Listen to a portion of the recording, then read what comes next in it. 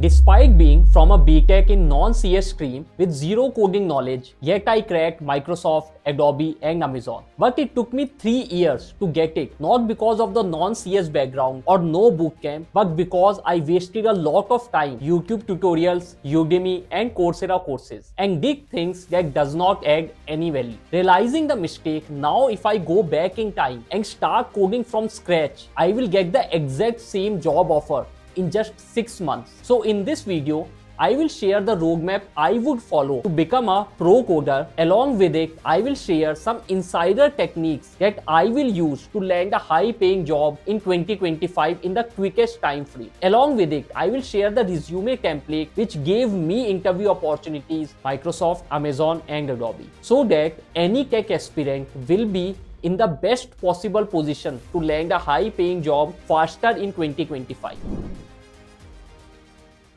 Let me start with my failed IIT JEE story to getting a higher package than IIT. As soon as I completed my 12th, just like many of you, I aspired to crack JEE Advanced and get into IIT because my elder brother Manish was studying at IIT at that time. But when it comes to JEE exam, not everyone gets lucky to get what they want. My JEE marks were not sufficient to get any desired department or IIT. So I decided to join NIT Delhi. That's how I landed in NIT Delhi Triple department. One good thing about engineering is in first year, all departments have the same subject. That's when I first learned coding and soon after that, I developed a big interest in it. But often I had a self-doubt whether I can make a big career in coding from Triple E background. Then my elder brother Manish, who was at that time pursuing BTech in CS at IIT ISM Dhanbad, saw the drive in me and said, Rajat, you know you could totally crack companies like Microsoft and Amazon. And I thought he was joking. But I took his advice seriously and started working working on developing my coding skills. From the beginning, Manish guided me to focus on building strong foundations. So I started learning problem solving, system design, and CS basics. There were days I felt like I am not getting better. There were days I felt like giving up. But during these times, Manish would sit with me, talk with me, explain things and keep me going. If I look back at myself, I understand one thing from my journey. You don't need a perfect start or a perfect background. You just need the willingness to put the hard work and the drive to keep going. Now, before getting into the roadmap, let's get the foundations right because just knowing and wanting things is not enough. We need something more. And that brings us to a learner mindset. Let's get real for a moment. When I started, I was super scared. Why? Because I saw the people who were already from the CS background were so ahead of me. I felt like I could never catch up. But keeping the self-doubt aside, I believed that my hard work will give results one day. And it did. That's when I realized hard work beats talent every single time. But we need to be humble to accept that we will make mistakes. We also need to understand that our learning journey won't be linear. This I would call as learner's mindset. Now, once you have a learner's mindset, we then need to have a programmer's mindset. Trust me, it took me 12 months to realize these three simple things. First is never give up attitude. Beginning of the coding journey will be hard. So we must be resilient and keep going. Second, along with tech stacks, we have to become good problem solver. Third,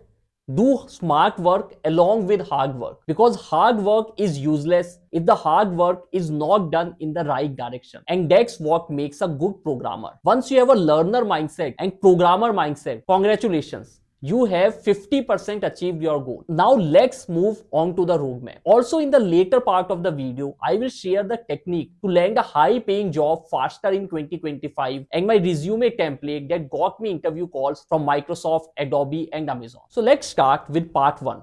How to become a pro at coding fast. Step 1. Learn a programming language. Now, which programming language to learn in 2025? Just like how we talk with our friends using a language which may be English or Hindi. Programming language is a language we use to communicate with a computer. I personally learned Java because I wanted to do app development and app development is done best in Java. However, I would recommend you can choose any language out of C++, Java or Python. Step 2. Learn object-oriented programming. Knowing how to code and writing good codes are two different things. Object-oriented programming is all about writing good quality code. Both Java and C++ are object-oriented languages. So without learning OOPS concepts, you will always struggle understanding other people's code. And also OOPS principles are asked in interviews. And it teaches you the most important skill of writing good quality clean code. So learn OOPS after learning the programming language. Step 3. Master data structures and algorithms. DSA is the cornerstone of any successful software engineer's journey, especially for those aiming for high paying roles. A strong grasp of DSA is crucial for efficient problem solving,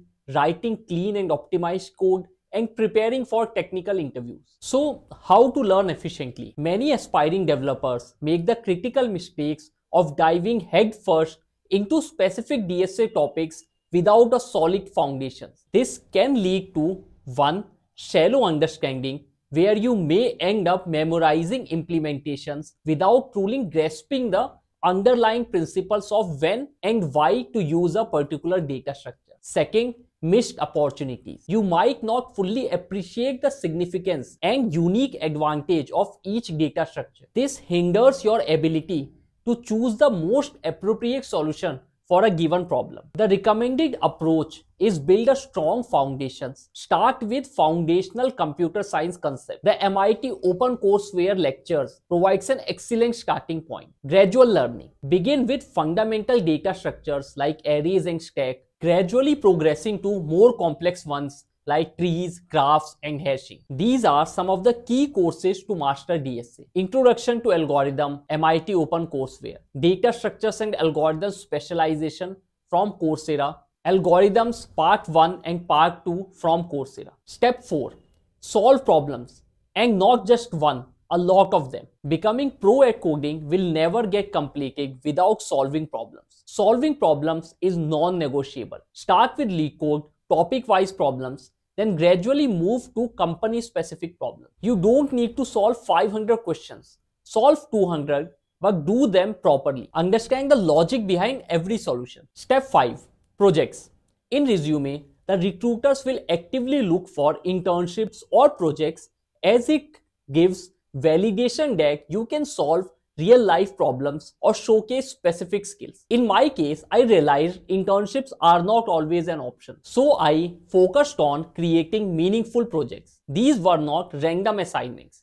I made sure they solve real problems or showcase specific skills. So how can we build good projects? Now, before explaining how to actually start to apply for jobs and get the job, one mistake you should avoid is never miss practice mock interviews. Mock interviews are very, very important. No matter how confident you are, never miss it. They prepare you for the real deal and they will help you realize how far you have come. I used multiple platforms and did mock interviews with friends. Now for part 2, how to land a high paying job. Step 1 the resume. You all must have heard of the term ATS everywhere. When submitting your resume to any company, you need to make sure that your resume is ATS friendly. Once ATS is taken care of, then tailor it to the company's requirement. In my journey, I make sure to revisit my resume and tailor it according to what the company's requirement was. Now the question is, how to tailor to company's requirement? Focus on these three things. First,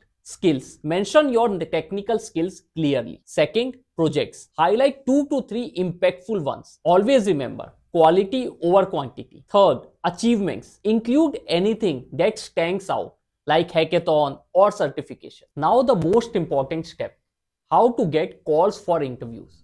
One mistake I see among aspirants is they don't apply to enough companies. To create more interview call opportunities, simple formula is good resume tailored towards the job role plus apply as many places equals to more interview calls. Now, preparing a good resume is hard as there are so much information on internet regarding the resume format, what to include and all. So I suggest you to look for a mentorship from experienced person. I personally used overleaf templates to create a good resume which can stand out. Step 3. Fail faster. I failed so many interviews at the beginning and yeah, it sucks. But instead of giving up, I used those failures to improve. I sit down, analyze what went wrong and figure out how to fix it. Slowly but surely, I got better. Failure taught me things much better than success did it. Those lessons are the reasons I was able to crack Microsoft, Amazon and Adobe. Also a little hack that kept me motivated is I often visualize myself achieving my dreams. I had literally imagined working into Microsoft's office as an employee. I knew it sounds super stupid, but it worked. That mental picture kept me going through all the late night coding sessions and endless debugging. The only thing that can help you go on is the ability to think that you can. Now, I have told you a lie that I will give you the complete roadmap to get a high paying job but there are certain things we need to discuss in detail, like how to make a perfect resume, the most important LeetCode problems, etc. These topics need separate videos in itself.